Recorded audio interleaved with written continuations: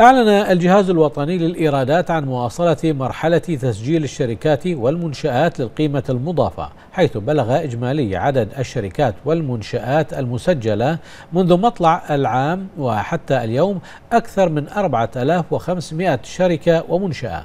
وأشاد الجهاز الوطني للإيرادات بتجاوب الشركات والمؤسسات في التسجيل للقيمة المضافة منذ البدء الفعلي بتطبيقها وضمان تحصيلها بالطرق الصحيحة.